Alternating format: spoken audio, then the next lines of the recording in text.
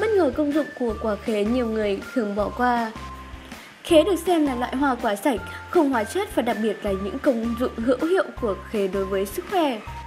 Quả khế chứa dồi dào vitamin C, vitamin A và các khoáng chất nên rất thích hợp cho việc làm thức uống giải khát và bồi bổ sức khỏe.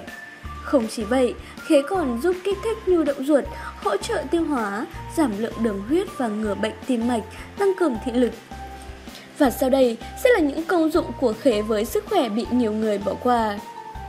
Thải độc cho da theo nghiên cứu, ăn một quả khế mỗi ngày sẽ cung cấp 1 phần 3 lượng vitamin C cần thiết, giúp bạn tăng đề kháng, giảm các triệu chứng mệt mỏi, giúp thanh nhiệt, lợi tiểu, để nhanh quá trình thải độc cho da, bổ sung những vitamin và khoáng chất có lợi, giúp cho da mềm mại, mịn màng, tươi sáng.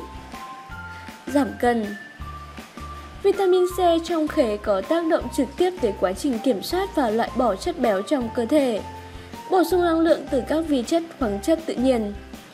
Tất chảy lớp mỡ thừa dưới da một cách an toàn và hiệu quả.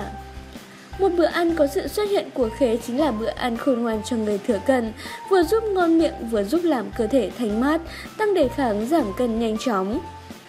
Tốt cho tim mạch Khế còn chứa vitamin A, B5 giúp quá trình trao đổi chất hoạt động trơn tru và suôn sẻ hơn.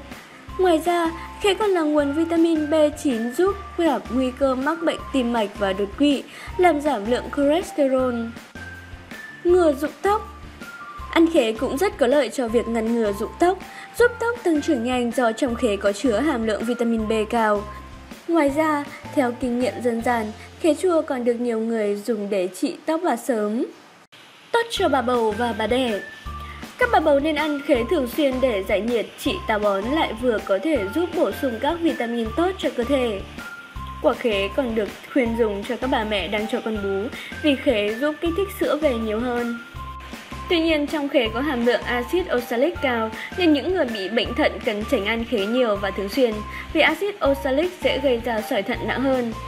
Chất axit này còn cản trở sự hấp thu canxi trong cơ thể nên những người có xương có vấn đề xương khớp Trẻ dưới 5 tuổi thì nên hạn chế ăn. Người đau dạ dày hoặc đang đói cũng không nên ăn khế, đặc biệt là khế chua.